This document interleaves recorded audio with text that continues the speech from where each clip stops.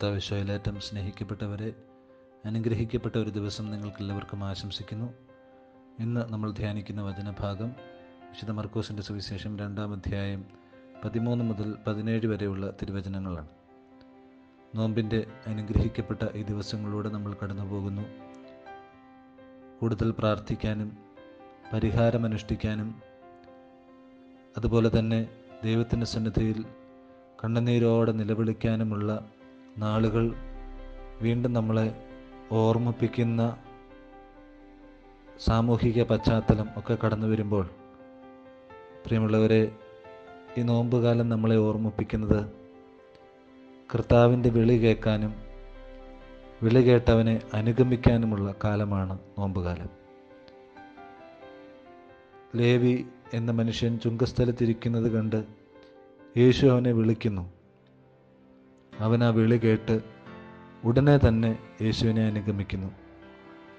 പ്രിയമുള്ളവരെ തമ്പുരാനെ അനുഗമിക്കണമെങ്കിൽ നീ അനുഗമിക്കാൻ ആഗ്രഹിക്കുന്നുവെങ്കിൽ പിന്നെ നിനക്കവിടെ മുന്നോട്ടോ പിന്നോട്ടോ നോക്കി ആലോചിച്ച് നിൽക്കേണ്ട കാര്യമില്ല.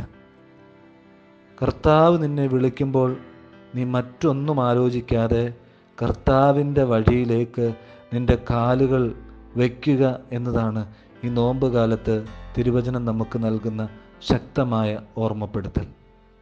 പലപ്പോഴും കർത്താവിന്റെ വിളിയിൽ നമ്മൾ സംശയാലുക്കളാകുന്നു എന്നതാണ് നമ്മൾ അഭിഷേകം പ്രാപിക്കാതെ പോകുന്നതിന്റെ ഏറ്റവും പ്രധാനപ്പെട്ട കാര്യം.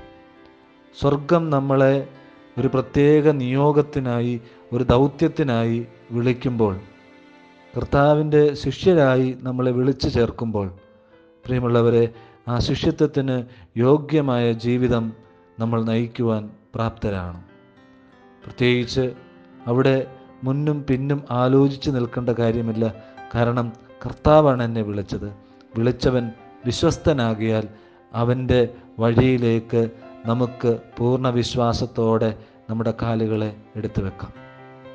ഈ നോമ്പുകാലം നമ്മളെ പ്രാർത്ഥനയിലൂടെയും ഉപവാസത്തിലൂടെയും പുണ്യപ്രവൃത്തികളിലൂടെയും നമ്മൾ ആർജിച്ചെടുക്കേണ്ട ഒരു അഭിഷേകം ഇതാണ് കർത്താവിനെ അനുഗമിക്കുക. വേറൊന്നും ആലോചിക്കാതെ കണ്ണും പൂട്ടി ഈശോയെ അനുഗമിക്കുക.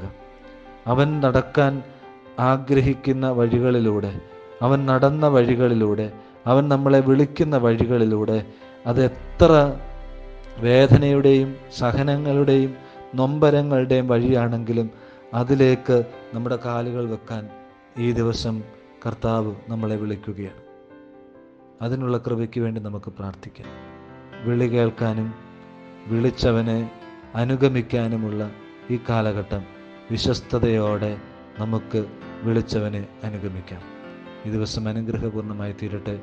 സ്നേഹത്തോടെ ജിൻസജൻ